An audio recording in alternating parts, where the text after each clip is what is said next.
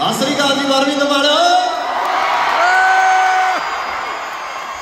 ਯਾਰ, ਇਹ ਵੈਲਿਊ ਮੇਰੇ ਲਈ ਬਹੁਤ ਖਾਸ ਹੈ।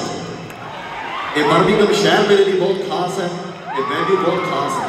ਕਿਉਂਕਿ ਪਹਿਲੀ ਵਾਰੀ ਸੋਲੋ ਜਦੋਂ ਮੇਰਾ ਟੂਰ ਸਟਾਰਟ ਹੋਇਆ ਸੀ, ਇੱਥੋਂ ਬਰਮਿੰਗਮ ਤੋਂ ਹੋਇਆ ਸੀ। ਪਹਿਲੀ ਵਾਰੀ ਜਦੋਂ ਬ੍ਰਿਟਿਸ਼ ਵਾਲੀ ਮੈਂ ਪਰਫਾਰਮ ਕੀਤਾ ਸੀ ਇੱਥੇ ਟੂ ਸਕੂਲ ਬਾਜੀ ਹੋਣਾ ਨਾਲ, ਇੱਥੇ ਹੀ ਕੀਤਾ ਸੀ। ਇੱਥੇ ਮੈਨੂੰ ਹੌਸਲਾ ਮਿਲਿਆ। ਟੂਰ ਕਰ ਸਕਦਾ, ਮੈਂ ਸ਼ੋਜ਼ ਕਰ ਸਕਦਾ। ਸੋ ਇਹ ਤੁਹਾਡੇ ਹਿੱਸੇ ਜਾਂਦਾ, ਜਿਹੜਾ ਇਹ ਪਿਆਰ ਹੈ। ਇਸ ਵੈਲਿਊ ਦੇ ਹਿੱਸੇ ਜਾਂਦਾ ਹੈ। ਇੱਥੋਂ ਹੀ ਮੈਂ ਸਟਾਰਟ ਕੀਤੀ ਆਪਣੀ journey England UK to school ਬਾਜੀ